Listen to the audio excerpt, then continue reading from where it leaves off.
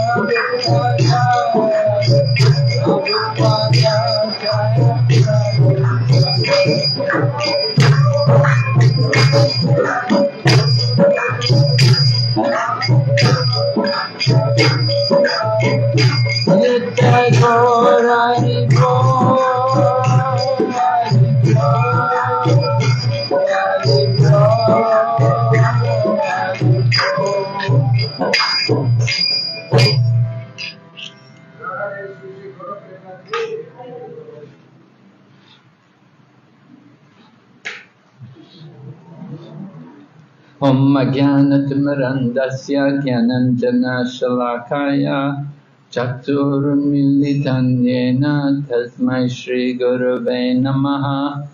वञ्चकौपातरुभ्यश्च कृपासिन्धुभयेव च पतितनां भवानेभ्यो वैष्णवेभ्यो नमो नमः। नमः ॐ विष्णुपदाय कृष्णपृष्ठाय भूतले। श्रीमते भक्तिवेदान्ता स्वामिनिति नामिने नमस्ते सरस्वती देवे घोरवाणी प्रचारिणे निर्विशेषशून्यवादी पश्चाच्य देशतारिणे। जय श्री कृष्ण चैतन्य प्रभु Nityanand Shri Advaita Gadadhar Shri Vasadi Gaur Bhaktavrinda. Hare Krishna Hare Krishna Krishna Krishna Hare Hare. Hare Rama Hare Rama Rama Rama Hare Hare. So we're continuing uh, to present this first chapter of the second canto of the Srimad Bhagavatam. And we heard how Sukadeva Goswami replied to Maharaj Parikshit's question. Maharaj Parikshit had asked, what is the duty of one who's about to die? And what is the duty of all people at all time? And he also wanted to know what should they hear and chant? what should they do and what should they not do. So in reply to the question by Maharaj Parikshit, Sukadeva Goswami began by first of all congratulating him on asking such a, an appropriate question. And then Sukadeva Goswami went on, first of all, to describe some things which we should not do. At, particularly at that point when you're about to leave the body, you don't want to be thinking about uh, material attachments, about the different objects of this material world which uh, are meant for just for our sense gratification. But we need to detach ourselves from everything material. So Sukadeva Goswami spoke about how there are two kinds of householders.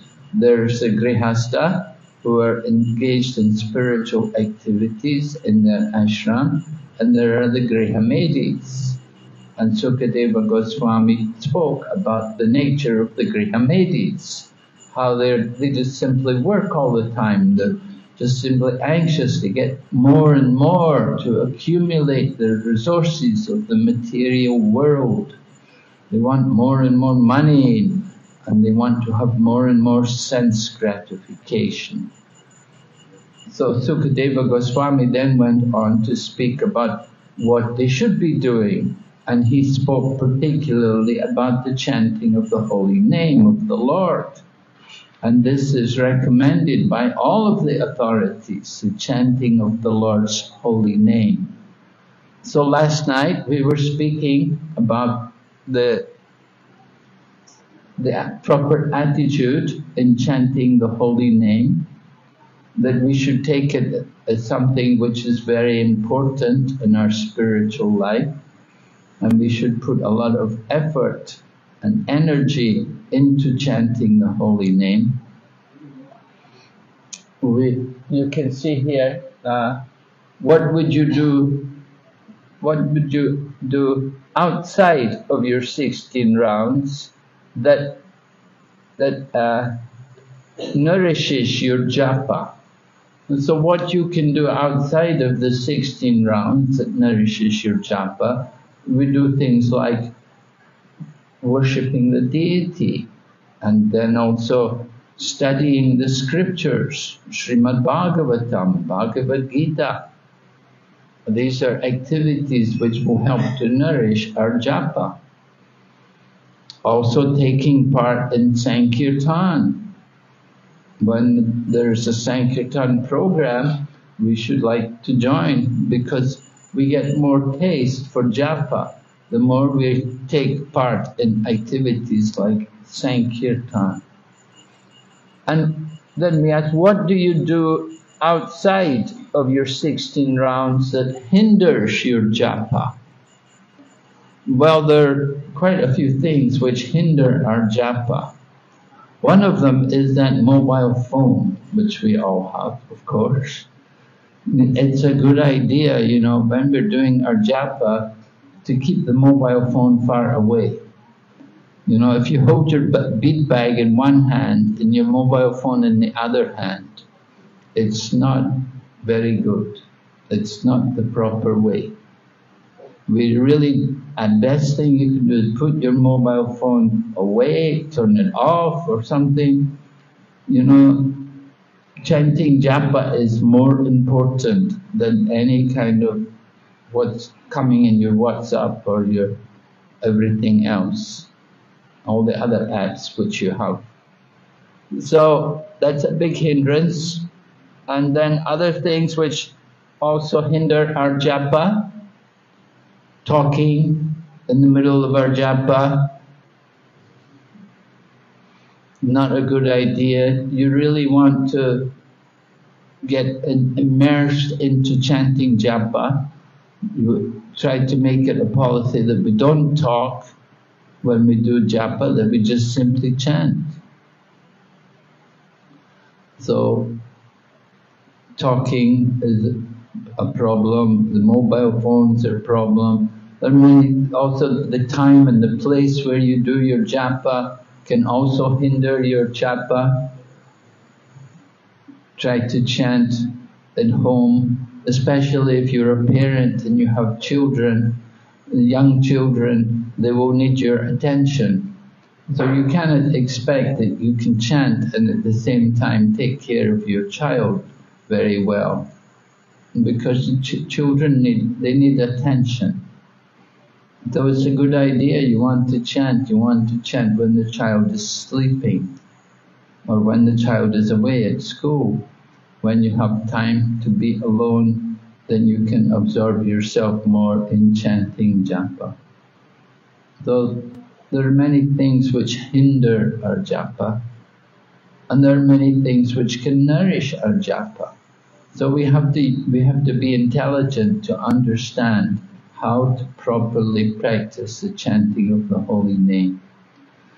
Generally, we encourage the devotees try, try to chant in the morning, and particularly early morning is recommended.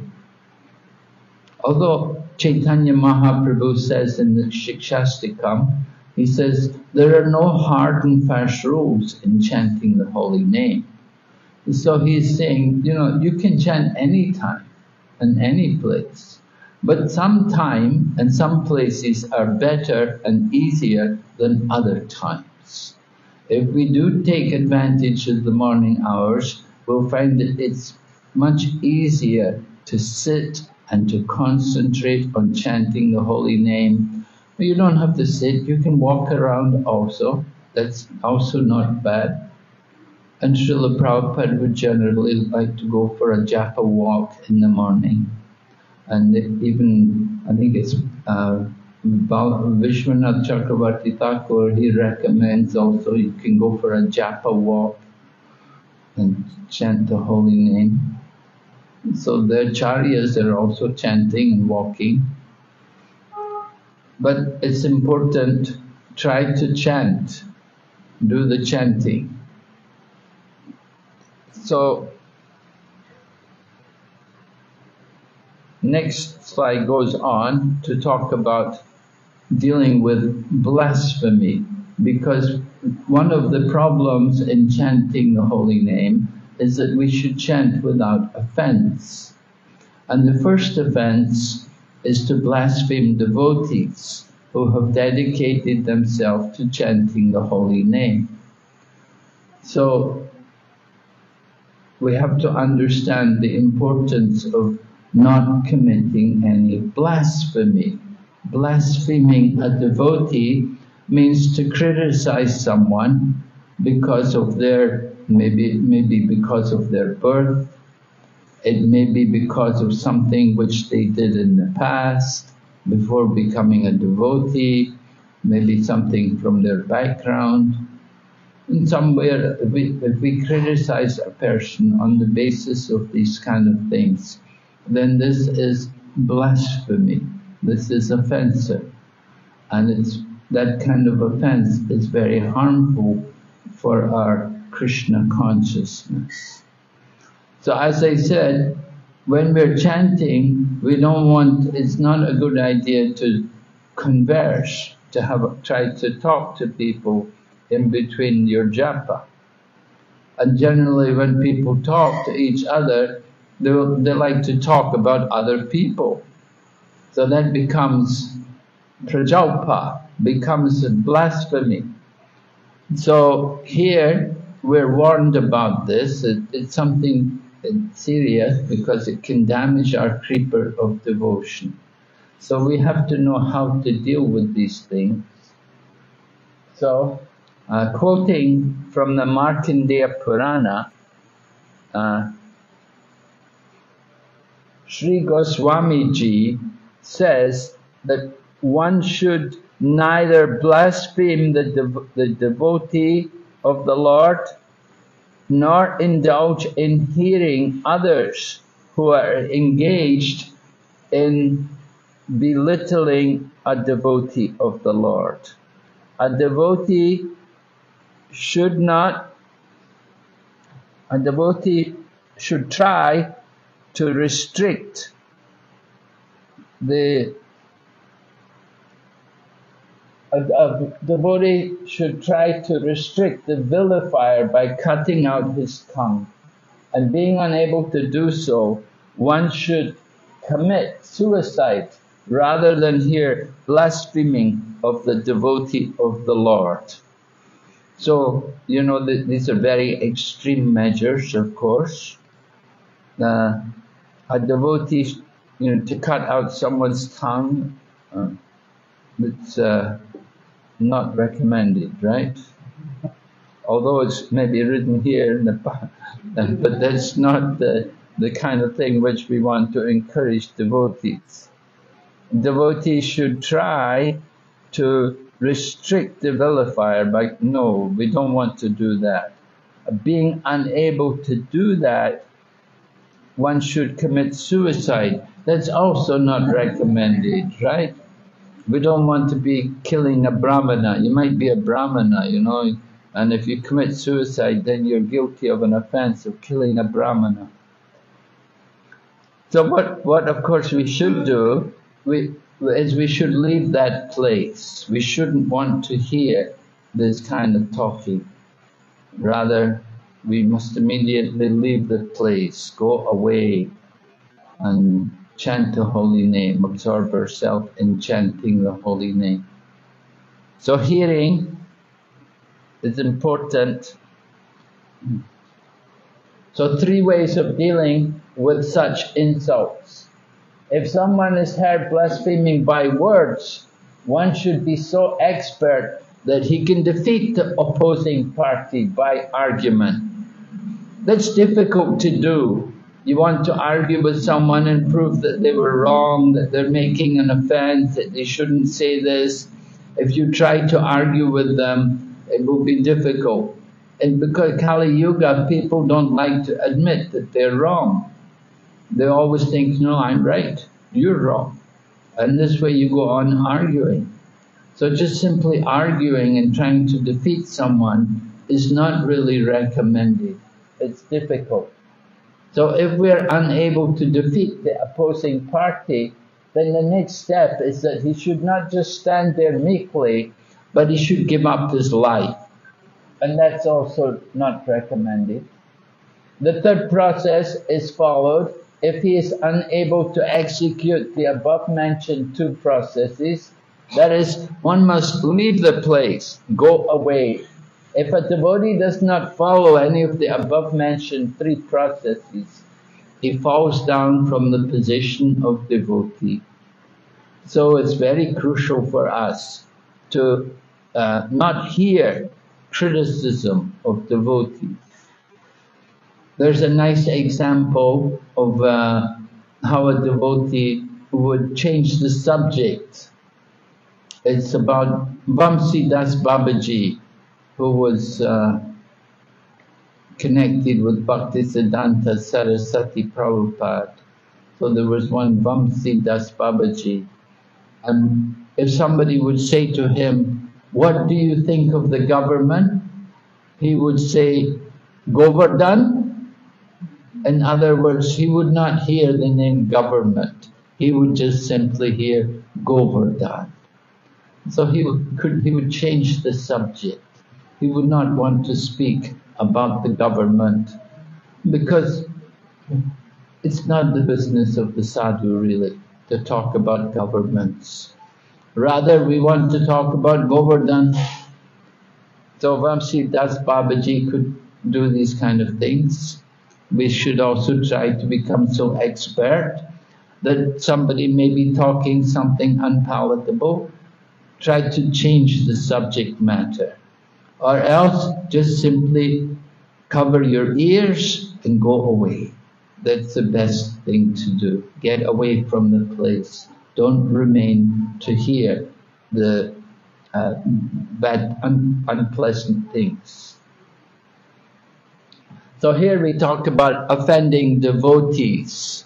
That's important. We don't want to be guilty of that because it, it, as I said, it's a mad elephant offense and it destroys the creeper of devotion. So we ask, who are you offending? So if we're offending somebody who's a devotee, Well, that's serious. You know, someone's a devotee. They're, we say, oh, he's not a devotee. He's just pretending to be a devotee. So then it becomes blasphemy. We shouldn't criticize people like that. Uh, we want to be cautious about that. What is causing you to make offenses or be critical of this devotee? Why are we often critical of someone? The problem is usually our own false ego. That, that because of our own false ego, we, we don't like someone and we, and we feel offended by someone and we make criticisms about them.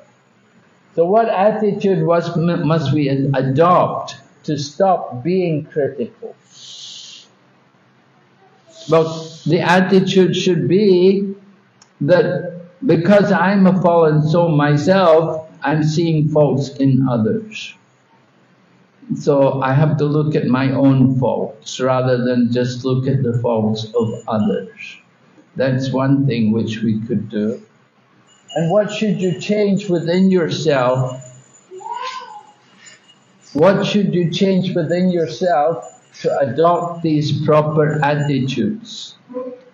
We should change that, that mentality of fault finding, of looking at other faults.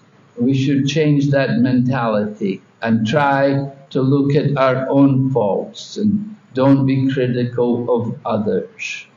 Rather, Chaitanya Mahaprabhu has taught us amanina manadena that we should offer all respects to others and not be anxious for any respect for ourselves.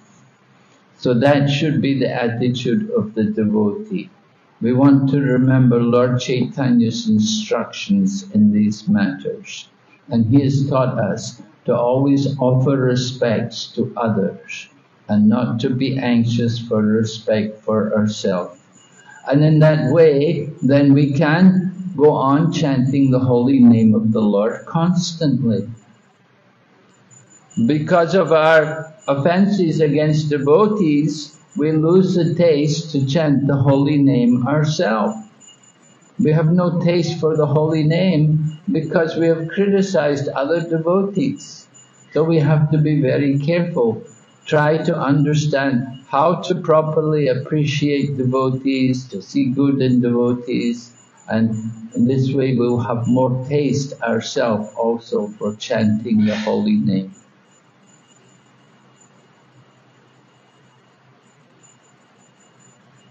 Alright, so the conclusion is you should not hear and you should not allow vilification of the devotees of the Lord.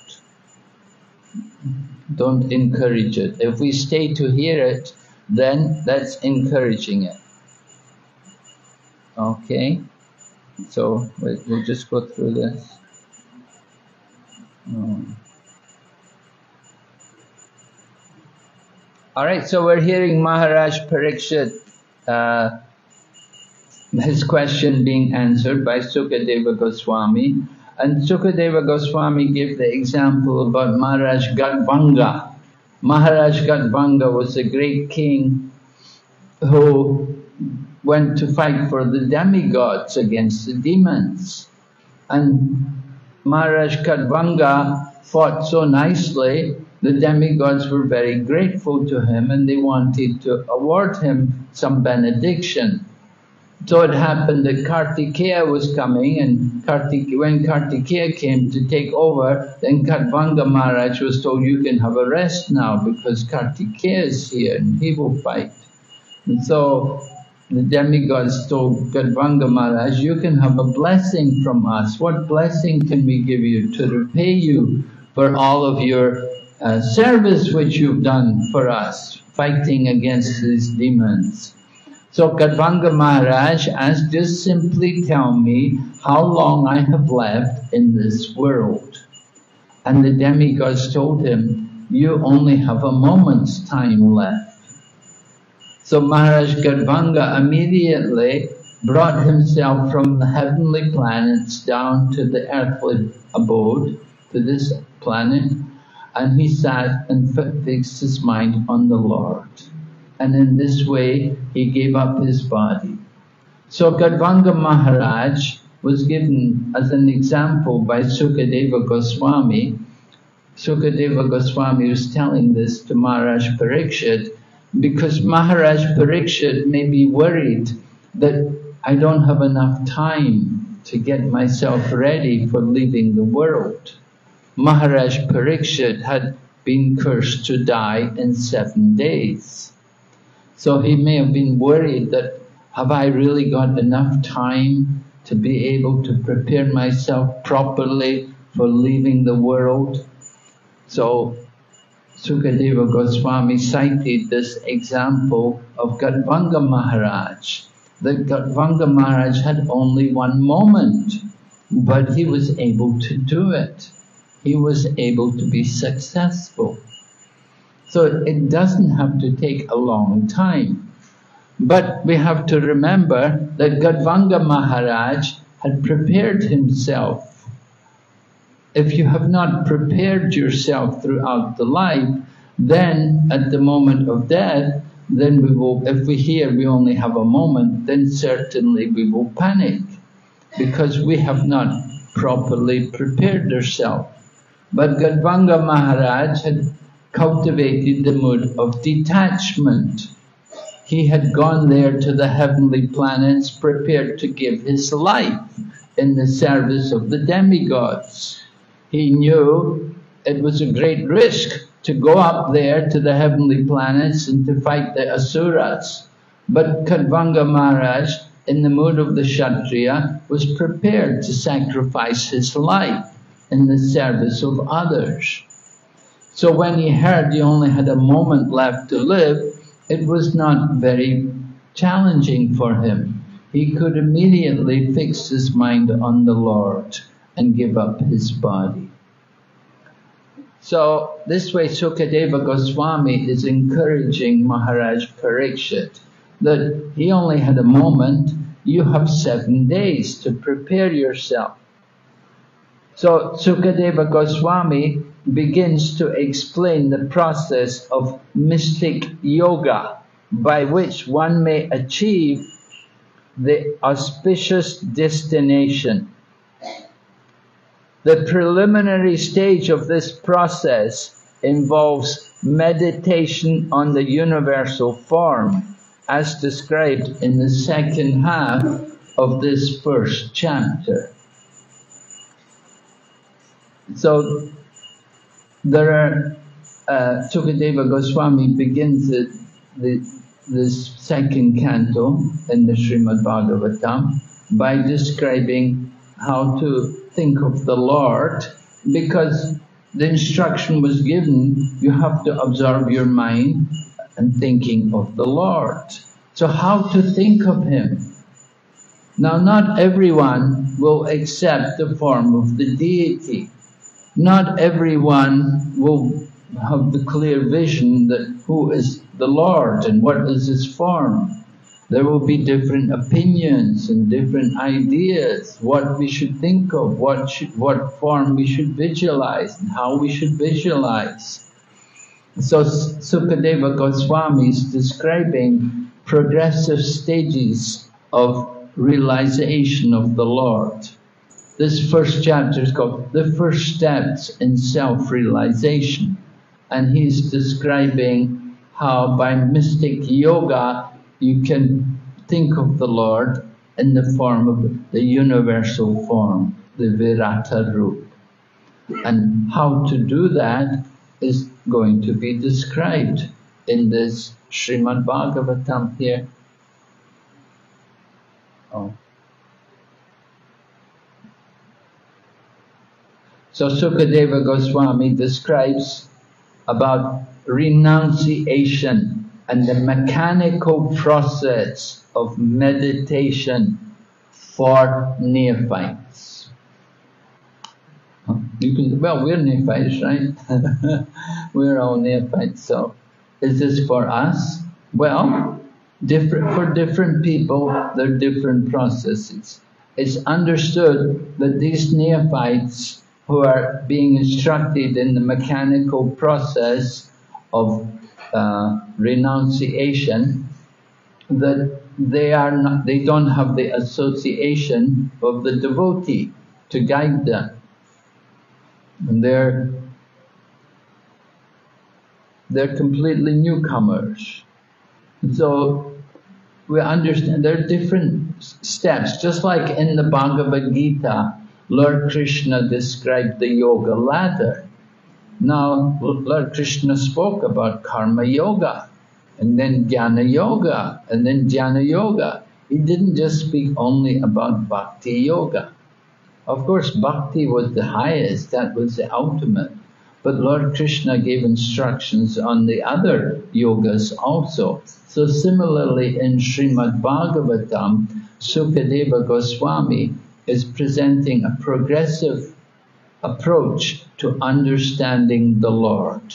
And he's beginning with contemplating the Lord in the form of the universal form, the Virata Rup. The second chapter will go on to describe the Lord as the Super Soul, as a Paramatma, and how we can meditate on the Lord as Paramatma. And then in the third chapter, he will talk about the Lord in his original form as Bhagavan Sri Krishna, as the personality of Godhead. So Sukadeva Goswami is going to describe the process of meditation on the universal form and we'll hear how he contemplate how we can contemplate that universal form. So we mentioned here about developing spiritual desires.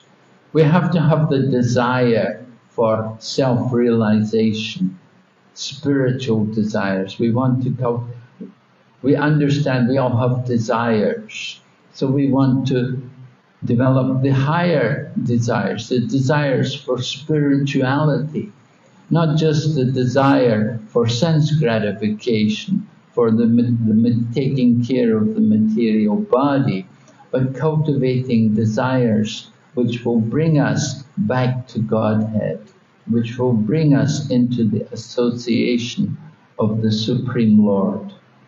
This is important for us. So Prabhupada writes about this. You can see there we put in the bold letters, one cannot therefore stop desiring, but the subject matter must be changed.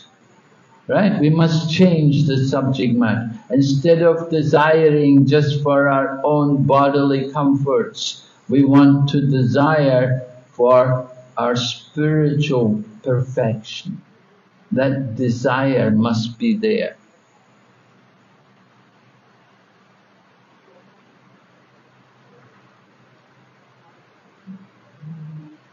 You can see, we hear, what about those who, for various reasons, are unable to chant? Unfortunately, we do have people like that that and they just say, oh, I just can't chant. Oh, I, they have their reasons. They're not able to chant. What to do about it? Hmm. So those who are not able to chant the name are recommended. They can chant Omkara. This is a mechanical process for training the mind in self-realization. Allen Ginsberg was one of the men who helped Prabhupada in the very beginning. Allen Ginsberg had been to India and he was, when he, he, he, met Prabhupada and he was telling Prabhupada how he chanted Om and Prabhupada told him we chant Hare Krishna and he also, Allen Ginsberg also chanted Hare Krishna. But he said, I like Om. Anyway, meditation on the limbs of the form of Vishnu is better than impersonal Omkara meditation.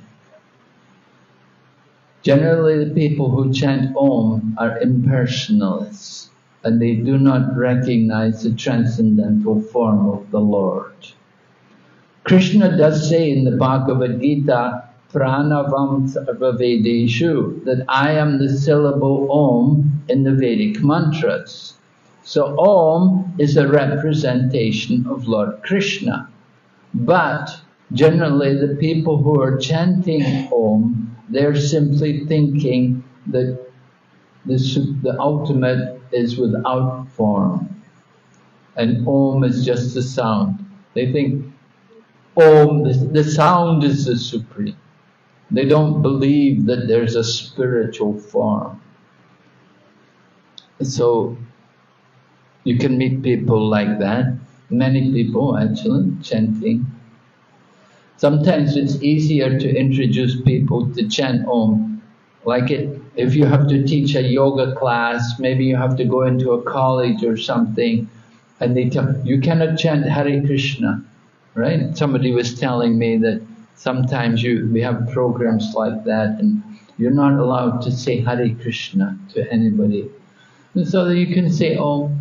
If you say Om, oh, oh that, oh that's okay. You say oh, Om. You say Hare, Hare Krishna, oh, that's a religion. You know, they don't, that's a cult or whatever. They don't like it. You know, they feel worried. They feel threatened if you say Hare Krishna.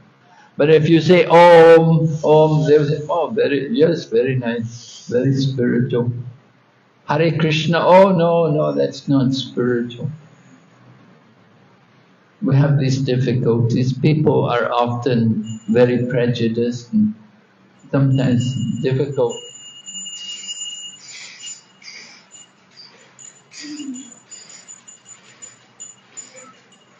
Alright, uh, Srila Prabhupada writes, Foolish people, bewildered by the external energy of Vishnu, do not know that the ultimate goal of the progressive search after happiness is to get in touch directly with Lord Vishnu, the personality of Godhead. Foolish people don't know. They're busy. They're thinking the happiness, the ultimate happiness is in wealth or is in the, the, the material pleasures. They do not know what is real happiness.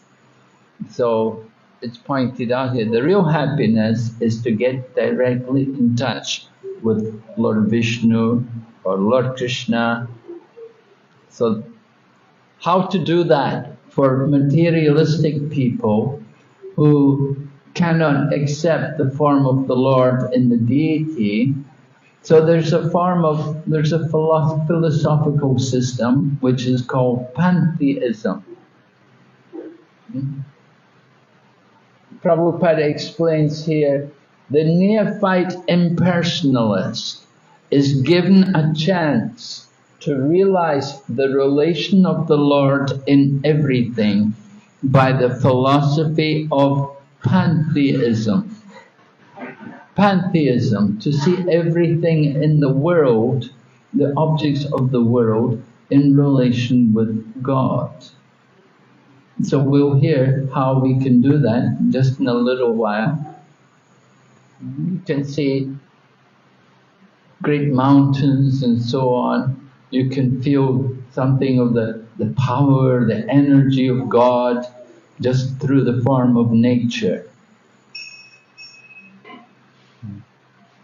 So, how to prepare oneself for the yoga process, just like if you do Astanga Yoga, it's talked about in the Bhagavad Gita, Astanga Yoga, there are different progressive stages by which one concentrates the mind. And you begin with uh, yam and niyam. There are things which you do and which you shouldn't do. So similarly also in the mystic yoga process, there are things you should do. And it's mentioned here, the first stage is to practice brahmacharya, practice strict control of the mind and senses. And then the second thing you should do is bathing in the holy places. Just like you go to the Himalayas, you know, you go up there, you know, the, the holy places, you, you want to take bath in these holy places. It's you can read about uh, Kapila Muni, Dhruva Maharaj, what they were doing, Devahuti, what she was doing. Devahuti was bathing every day in, in the in the that kund, Bindu Sarovar, and uh, Dhruva Maharaj also, he was bathing every day under the instructions of Narada Muni three times a day. And so this is things, you know, things, there are things you don't do, like what you don't do, you don't have connection with the other sex. And then what you have to do, you have to bathe in the holy places. So the yam and niyam is there. And then the next thing, uh, sitting on the asana made according to the rule, according to the rules of cooking. You have the deer skin and the cloth, and this this is prepared. This is asana, getting ready, and then asana, and then pranayama, chanting the three syllables combined as Om, representing the fourth stage pranayama. So yam, niyam, asan, pranayam, this is yoga. And then after pranayam, then you come to pratyahara. So controlling the mind, withdraw the senses. This is the fifth stage, pratyahara, withdrawing the senses, just like the turtle draws his limbs within, under the shell. So like that, pratyahara, you're not looking around, you're not worried about what's in front of you or around you, you're contemplating within. This is the fifth stage of the yoga process, pratyahara. And then dharana, again increase the mind whose assistant is the intelligence which di discriminates and then concentrate with intelligence on the form of the Lord. So after pratyahara, then you start to think about the form of the Lord, and then comes dhyana. One should meditate on the individual limbs of the Lord, and that brings you to the final stage, which is samadhi. So this is the perfection of the yoga system to come to that stage of samadhi. Engaging the mind, which has no contact with the sense objects, and one should not think of anything else. So you can understand that system of yoga is not for this age, but that was a system particularly in the Satya Yuga, when people lived a very long time. In the Satya Yuga, people lived 100,000 years. They lived for one lakh. And you can read about Kardama Muni, how he was doing Astanga Yoga for 10,000 years. And the Lord came to him, and the Lord said, yeah, uh, you're going to get a wife, and the girl's coming, you should accept her. And in this way, uh, Kardama Muni was married to Devahuti, accepted Devahuti. But preliminary was 10,000 years of Astanga Yoga to purify the mind. So then we come to contemplating the universal form. How to contemplate, what's the benefit of being aware of the universal form? Just being aware of the universal form. So these dirty things of fruitive work and empiric philosophy can be removed only by association with the Supreme Lord. The Lord, being omnipotent, can offer His association by His inconceivable potencies. Thus persons who are unable to pin their faith on the personal feature of the Absolute are given a chance to associate with his Virata Roop or the cosmic impersonal feature of the Lord. The cosmic impersonal feature of the Lord is a feature of His unlimited potencies. Since the potent and potencies are identical, even the conception of His impersonal cosmic features helps a conditioned soul to associate with the Lord indirectly and thus gradually come to the stage of personal contact. So Prabhupada is explaining to us how you, the benefit of this contemplating the universal form. Not everybody is able to accept deity worship. This is the problem. It's difficult for some people. They just have a barrier to it. Oh no, I cannot accept this. Is a, these are just dolls, or these are just idols, or whatever. So, contemplating the universal form. It's also there in the eleventh chapter of the Bhagavad Gita. You have Arjuna asking Lord Krishna to show that universal form. And Prabhupada explains there, it's a challenge to the atheists. So similarly here, the Viratarup manifestation of the Lord is simultaneously a challenge to the atheists. It's a challenge to them. Why? Because they may say there's no God. But then, okay, well, here's God. Look, there's the form. There's the universal form. He has a form. This is, you're showing them a form. You cannot say there's no God. This form is God. So it's a challenge to them. And it's also a favor for the Asuras. It's a favor to the Asuras who can think of the Lord as Virat and thus gradually cleanse the dirt from their hearts in order to become qualified to actually see the transcendental form of the Lord in His real feature. This is a favor of the all-merciful Lord to the atheists and the gross materialists. Gross materialistic people. They, they, they need to have some way in which they can understand God. So, through the objects of the material world. So Prabhupada explains this is for neophyte people who have no understanding of transcendental knowledge or of spiritual forms. So they're unfortunate souls. So how can they understand God? They're given this opportunity.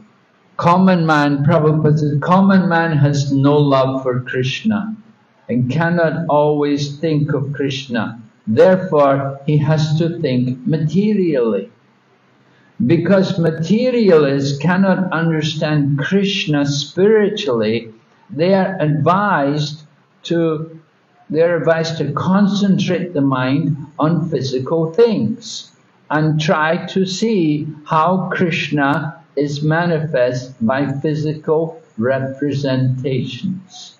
And we see that in the Bhagavad Gita, in the particularly 10th chapter, Vibhuti Yoga, Lord Krishna gives a long list of different ways in which he is present in the material world.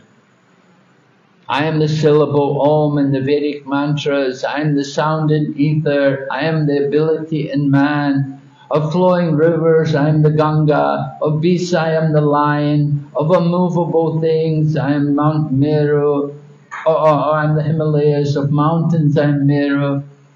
So many different ways Lord Krishna describes how we can think of Krishna in the form of the objects of the material world.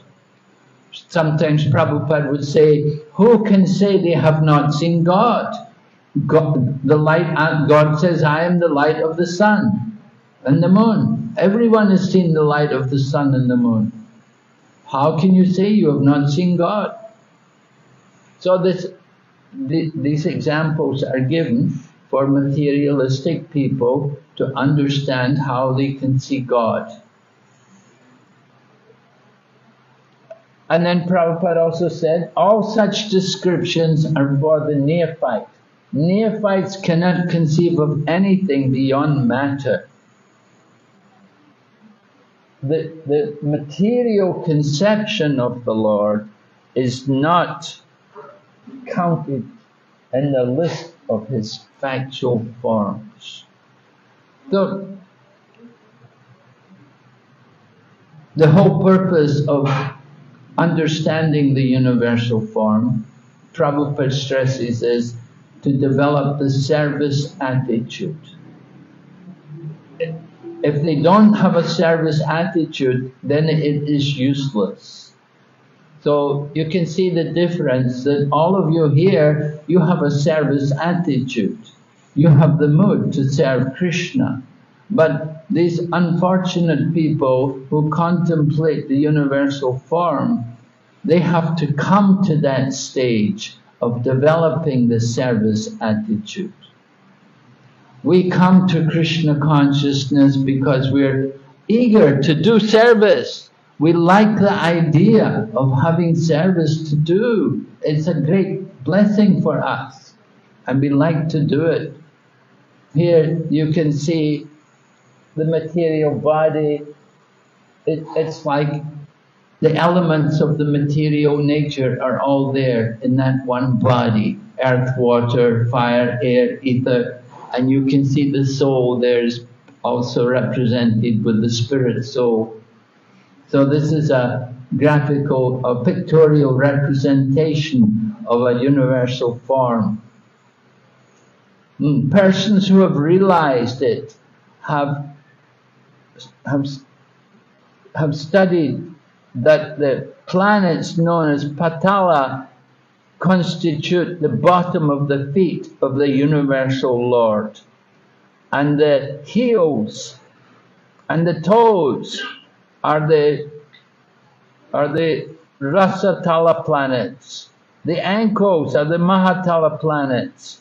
And the shanks constitute Talatala planets.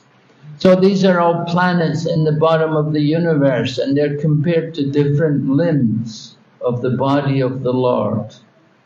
And you go, as you go up, higher up, you come up to the higher planets. So the top you have Satyaloka, Brahmaloka, Patala Loka, Mahaloka, not Patala Loka, Mahaloka, Janaloka, Tapo, Tapoloka. They're all at the top. They represent the head of the body.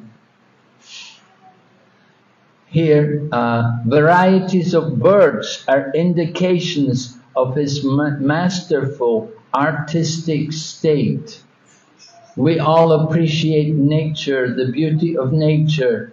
So we're encouraged to see who is behind nature, whose nature is being presented. So here you see the beauty of the, the swan, the, the grace of the swan, the artistic design there in the, the body of the swan. It's an indication of the masterful artistic sense of the Creator, the Supreme Lord. And then the ocean is His waist, and the hills and the mountains are stacks of His bones. You can see everything, all the different features of this cosmic manifestation, they're all there within the body of the Supreme Lord.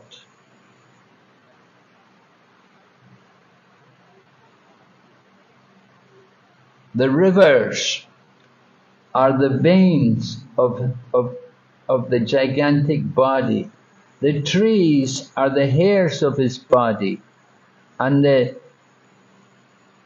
and the omnipotent air is his breath. So rivers, flowing rivers, they're like the veins of the body of the Lord.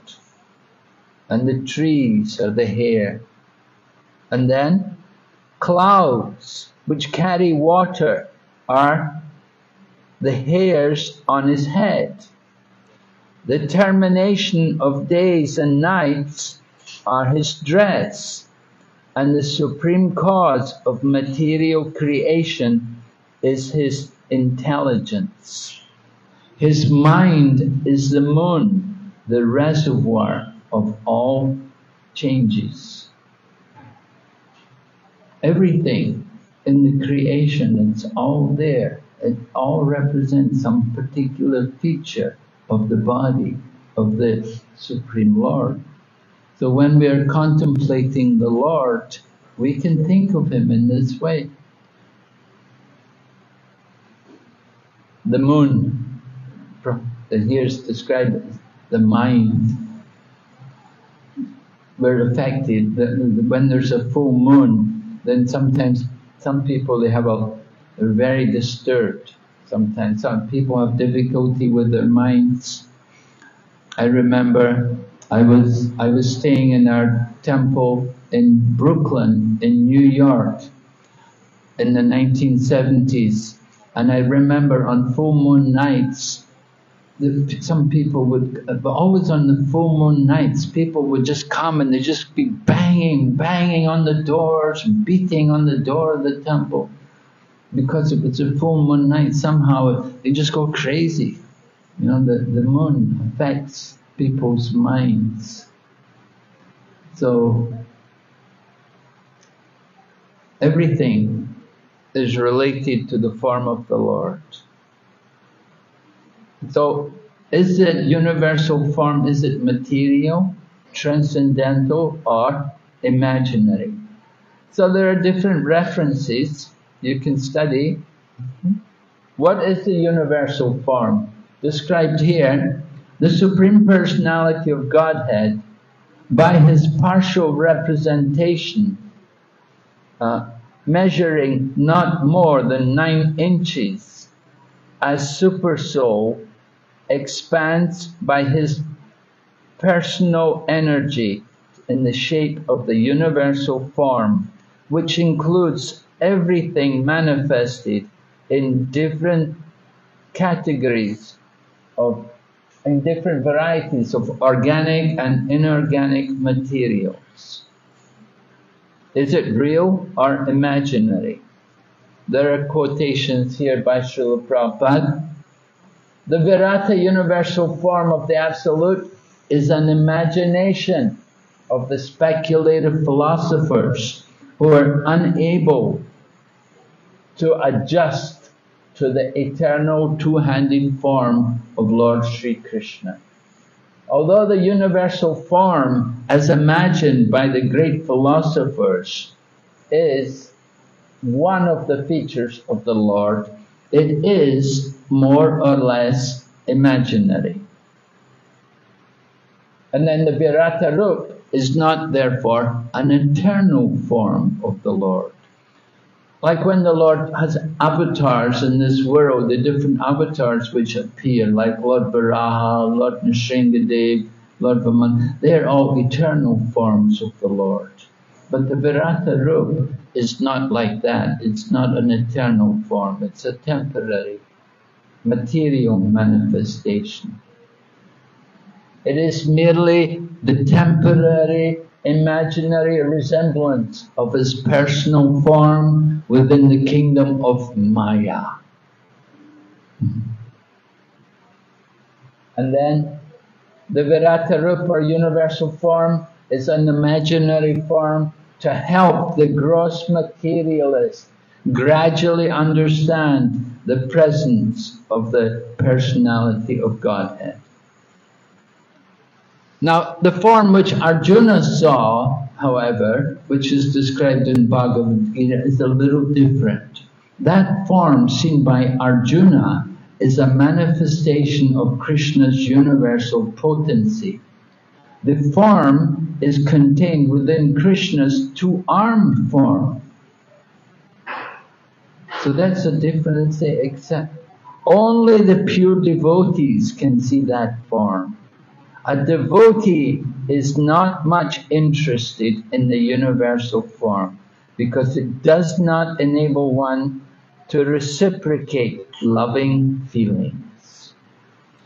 Now, Arjuna was Arjuna he didn't feel any awakening of devotion seeing that form. He asked Krishna to show his original form. Those who are impersonalists and also imagining that they are seeing the universal form of the Lord. But from Bhagavad Gita, we understand that the impersonalists are not devotees. Therefore, they are unable to see the universal form of the Lord. Some people are imagining they're seeing. The Virata Rup exists and is all pervading. However, the Lord shows that form only to whom He chooses. Finally, here's a quote here. Uh, the universal form is also considered personal. Malati Prabhupada's disciple, Mataji, she said, what class of impersonalists are worshipping the universal form? And Prabhupada replies, well, universal form is not impersonal. That is personal. That is also manifestation of Krishna. And Malati said, but you say that in one of your purports, you are saying that the impersonalists are worshipping the universal form. So Prabhupada said, they are advised. And Shyamasundar, Malati's husband, said, ah, advised to worship. In other words, Prabhupada said, the impersonalists are encouraged, they are being advised to worship, but usually they don't. Okay, so that's the end. Are there any questions? Marichi Prama, any question tonight?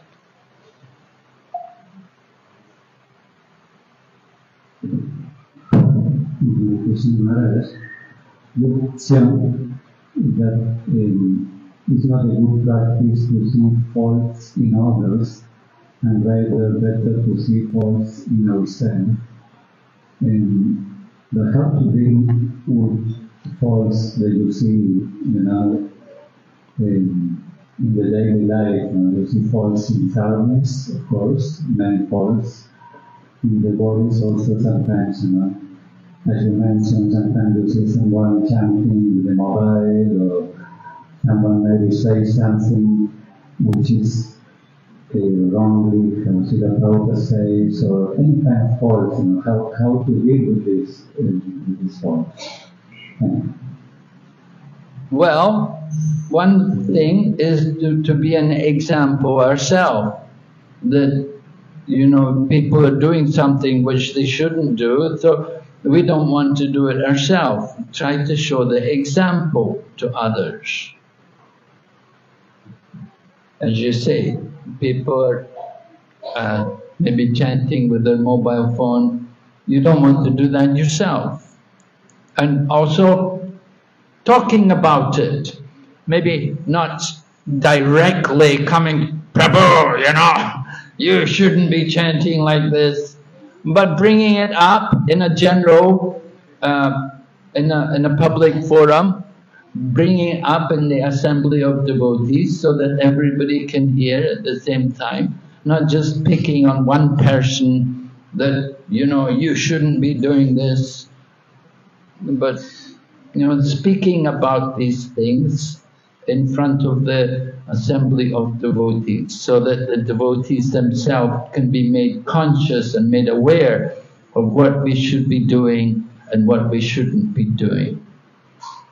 As far as uh, people talking something which, saying something which is not correct and maybe they've got Prabhupada wrong or something, that's a more delicate subject matter and you have to be careful about dealing with people. We have to consider also what is our relationship with that person? Does he accept you as an authority figure?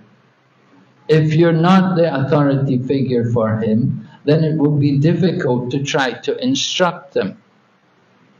Right? If we're, if we're in a, a junior position, we don't want to try to give instruction to somebody who's our senior. That's not right. And, and even if we are senior, but if that person doesn't respect you as an authority, then it will be very difficult to try to give them instruction. They may not like it. Therefore, I say that one of the ways in which we can present these things to people is by uh, talking about them. You know, some, we do things like have istigostis and uh, have hmm, devotees, sadhu sangha coming together with the devotees and just talking and discussing, sometimes even in classes, bringing it up in classes that these things shouldn't be done what should be done, what is the proper standard, and what is right, what would what did Prabhupada say, what did Prabhupada not say. so trying to do it in a manner which is not not uh, too much controversial. Presenting in a, in a manner in which it's easier for people to digest. So that's my response to your question, Prabhu. Thank you. Yes, Prabhu?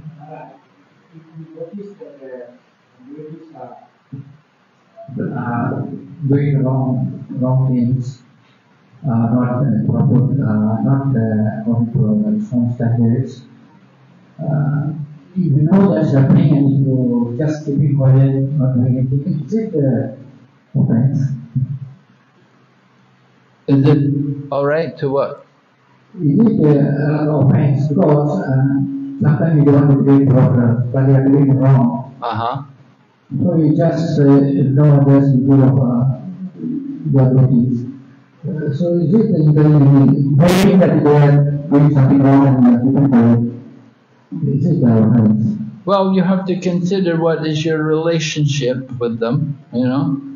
What is your what is your position? Let's say authority, uh, are you the authority figure? Are you the person in charge and like that? We don't want to, sometimes you don't want to get involved in something, you know, which is, but you can report it.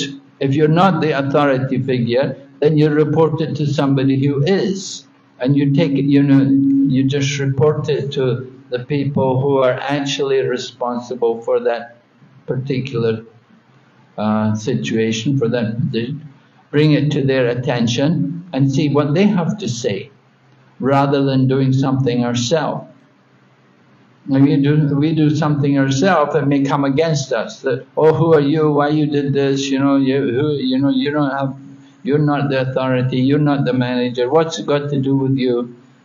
So it's always better, you know, to check with other people, and particularly somebody who's maybe in a, higher position, a more senior person, and ask them, "What do you think? What should we do? What should be done?" rather than just doing something independently on our own, but, but bringing it up to others' attention. And then there's, if they all agree that it's wrong, then there's strength in numbers. But if you just try to do something yourself, then it won't be appreciated. But if you have the support from that devotee community that this is wrong, that this has to be corrected, then it will be much more effective. And you'll be able to do really uh, make some changes. Thank you. Maharaj. Any other question?